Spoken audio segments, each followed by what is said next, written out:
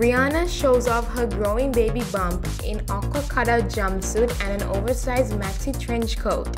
She added layers of silver chain and earrings to complete her look and simple hairstyle.